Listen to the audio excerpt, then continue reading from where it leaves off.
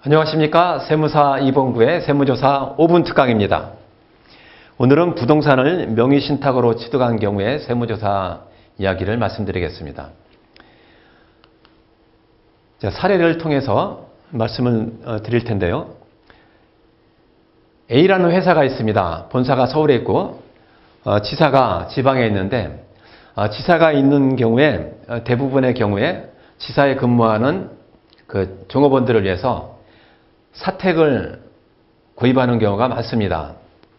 자, 이 회사가 사택을 구입하게 됐는데 그 사택의 소유주를 종업원 명의로 구입을 하게 됐습니다. 명의 그 종업원 명의로 구입하게 된 것을 명의신탁이라고 하는 거죠. 원래는 이 법인이 구입을 했으면 등기부 등본의 소유주를 법인으로 해야 되는데 이 종업원 명의로 구입을 한 거죠.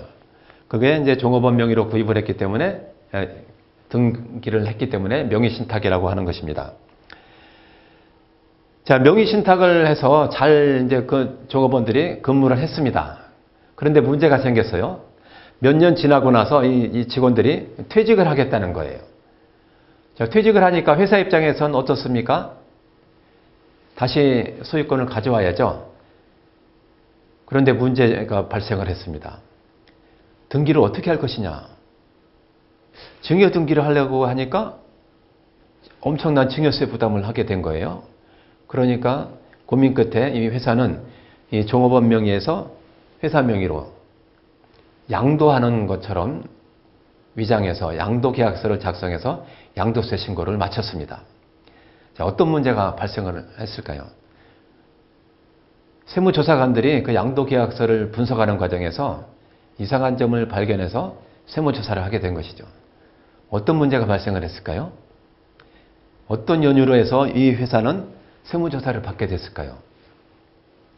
예, 그 양도 계약서가 세 장이었었는데 이 주택이 이 종업원 명의로 취득한 주택이 세 채였습니다.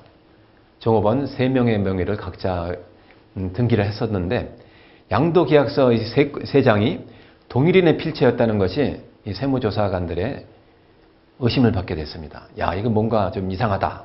그래서 세무조사를 하게 됐고요. 선정하게 됐고 조사 결과 명의신탁 사실이 발견된 거죠. 자, 명의신탁 사실이 발견되면 어떤 처분을 받게 됩니까? 예, 국세기본법에 실질과세 원칙이 규정되어 있습니다. 그래서 명의에 불구하고 실질적인 사례에 따라서 과세를 하게 되게 되겠죠. 그래서 법인에게는 이 법인에게 명의 신탁을 한 법인에게는 법인세를 추징하고요. 이 대표자에게는 대표자 상여처분에서 종합소득세를 추징하게 됐습니다. 이 세금과 더불어 엄청난 신고불성실 가산세와 납부불성실 가산세를 부담하는 세금 폭탄을 맞게 된 겁니다. 자, 부동산을 명의신탁으로 취득하는 경우에는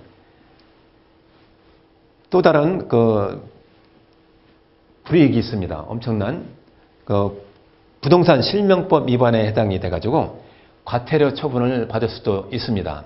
과세관청에서 지방자치단체로 명의신탁 사실을 통보하게 되면 과태료 처분을 받게 되죠. 그래서 부동산을 취득할 때는 반드시 어, 실명의로 취득을 하셔야 된다라는 사실을 강조해 드립니다. 지금까지 세무사 이봉구의 세무조사 5분 특강이었습니다.